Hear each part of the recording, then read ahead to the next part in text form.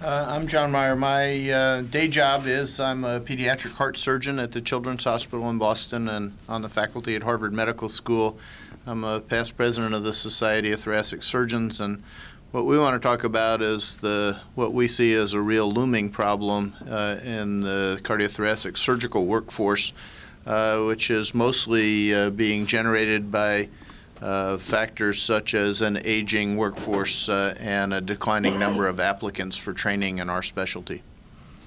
So we have a, a, a broad problem. But now let's look at cardiothoracic surgery.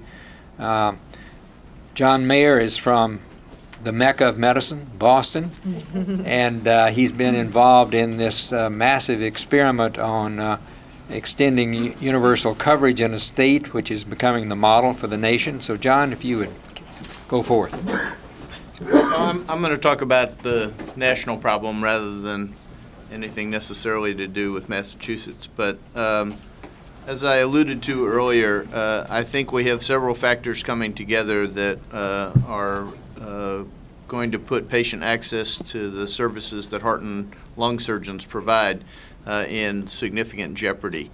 Um, you know, just by way of background of all the surgical specialties all the specialties, including primary care and others, the only specialty that the AAMC has data on, the only one that uh, showed an absolute decline in the number of practicing surgeons is cardiothoracic surgery. That's over the interval from 1995 to 2004. The, the problem that we're anticipating, and I, and I don't think it's an unreasonable uh, anticipation, is as we talked about earlier, heart disease and lung cancer are the two leading causes of death in the United States. Uh, they're certainly very prevalent among the Medicare population. We have this aging population, the baby boomers, uh, of which I'm the front end, 1946. Um, is going to hit the Medicare population. There will be anywhere from 10 to 15 million more patients in the Medicare population over the next five to 10 years.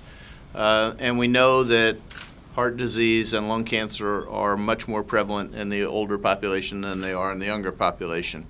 So there clearly is going to be an increasing need, and at the same time, we've already seen a contraction in the workforce we uh, have not had sufficient numbers of applicants for cardiothoracic surgeons to fill, for surgical training, to fill the 130 or so slots that were available uh, for each of the last several years. We're actually now down to 118 training positions, and even this year we did not have a sufficient number of applicants to fill those positions.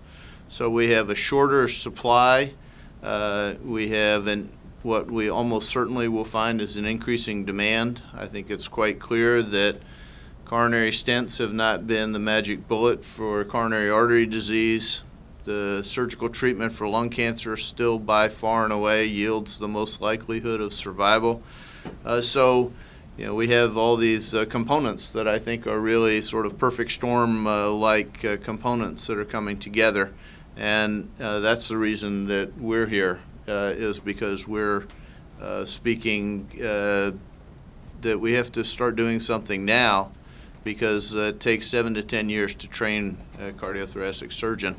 Uh, and even if we shorten that training by a year or so, which we're starting to think about doing, um, you know, we're still not going to address this problem because half of us are 55 years of age or older.